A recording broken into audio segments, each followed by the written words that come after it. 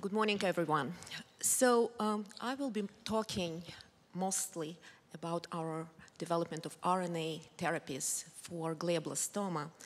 Uh, and you have already heard about glioblastoma from Bacchus earlier this morning.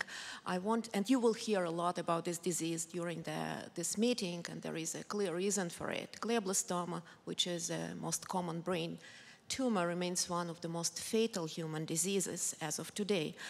It affects roughly 14,000 adult and pediatric patients in the US only, and despite the very aggressive uh, standard of care that includes surgical resection, radio, and chemotherapy. The median survival of the patients remained only around 15 months today, and it has not really changed a lot in the last 35 years. There were only four drugs approved by the FDA during this time period.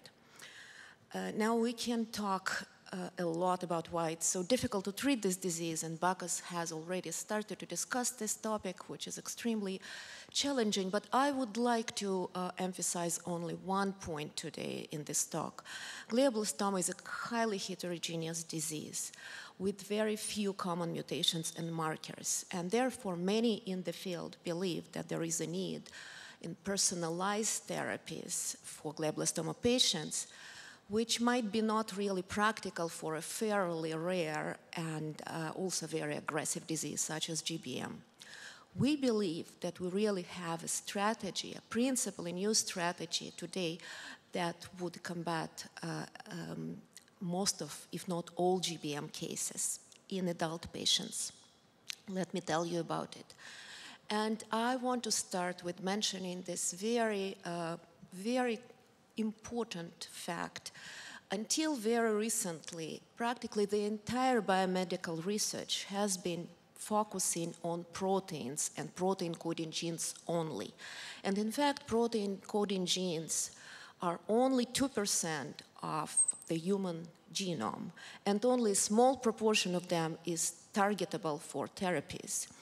Now, what actually makes the human physiology is so complex, and especially the brain physiology is so complex, is not the protein coding space, but rather the what's so-called the dark matter of human genome or non-coding space of the human genome that is largely trans transcribed for, to various classes of RNA, what we call non-coding RNA or regulatory RNA. Many of these uh, molecules are regulatories. So there are hundreds of thousands of non-coding RNA in the human genome. And that's really what makes us human and very much different from lower organisms. They come in, these molecules come in all sizes and shapes, from tiny to long. They're extremely functionally diverse. For example, they regulate transcription, they regulate mRNA processing, splicing, they regulate protein scaffolding and activity. And they're frequently dysregulated in disease, and particularly in neurologic diseases and in cancer. Now, you all heard about RNA vaccines now, but RNA also provide tremendous opportunities for novel therapeutics. RNA can be a drug by itself. For example, we can replace tumor suppressor RNAs, and RNA can be drug. For example, we can inhibit an oncogenic RNA for cancer.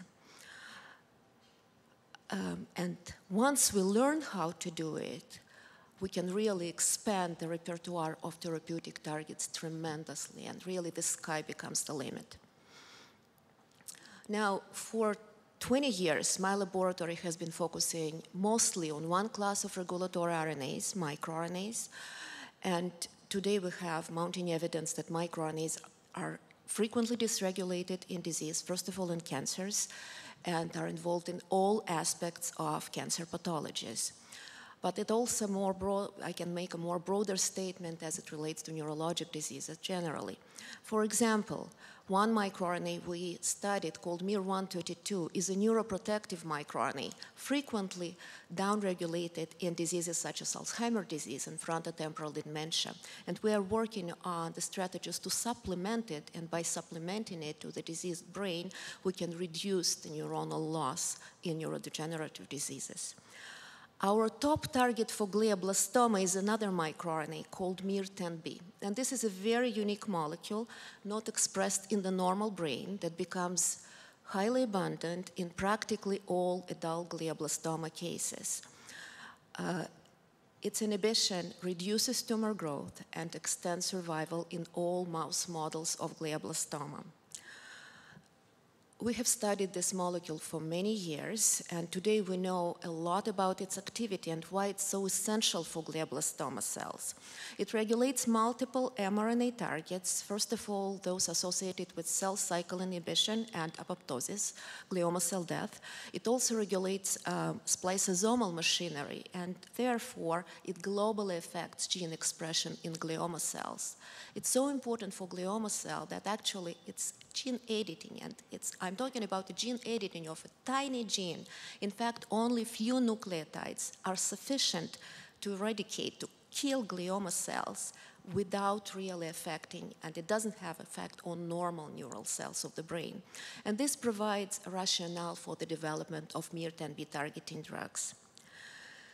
So our goal is uh, oh, let me illustrate this message here. So here I'm showing you the effects of MIR10B inhibitors.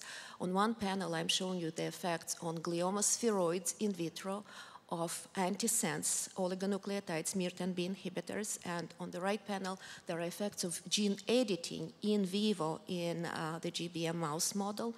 In both cases, you see that inhibition of MIR10B really uh, Uh, in vitro, it kills the cells, in vivo, it reduces tumor growth very, very significantly. So again, our goal now is to develop MIR10B inhibitors. Our focus is on CRISPR-Cas-based genome editing of this gene, which has a number of important advantages. First, first, of all, it's extremely potent because of the permanent nature of the gene ablation.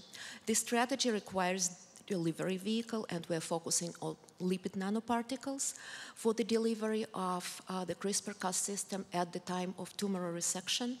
And as an alternative backup strategy, uh, the antisense oligonucleotides are also being developed. Now, I should mention that although MIR10B is especially essential for the GBM, this molecule has also been associated with other metastatic cancers, and most of all with brain metastasis. So the strategy that we develop will be beneficial. It's expected to be beneficial for other metastatic cancers. Also, I want to mention that for the disease as aggressive as glioblastoma, monotherapy is unlikely to be curative. So one would certainly have to consider multi, multiplex, multiplex uh, target multiplexing and combination therapy. And we believe that this strategy would allow us such a multiplexing of tar targets. Now, talking about combination therapies and multiplexing of targets uh, brings me back to, to my earlier point of the variety and diversity of really unstudied or very poorly studied regulatory RNAs. Um, we recently identified new classes of regulatory RNAs, uh, particularly this enhancer and promoter RNAs that function upstream of MIR10B and are essential for MIR10B the repression in the brain. They, their activities associated with reshaping the genome topology in the brain. Their inhibition has similar effects uh, in glioma killing to the effect of MIR10B. And we expect that multi uh, the targeting the several targets, in this case, in the same signaling cascade, will amplify the effects of MIR10B inhibitors.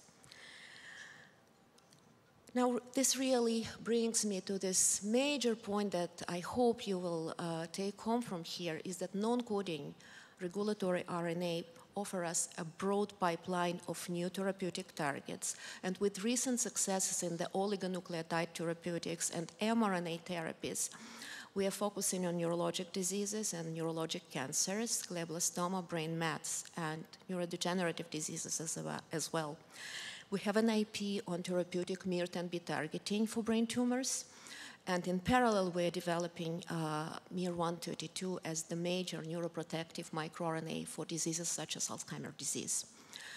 Now, regarding our next planned steps, we will complete the advanced preclinical studies in GBM animal models, and with the various ionizable and cationic lipids available for, for licensing now for large-scale um, formulation of RNA payloads into lipid nanoparticles, we should be able to initiate the IND program for MIR10B targeting and have the first and to nominate the first MIR10B drug in a matter of a couple years.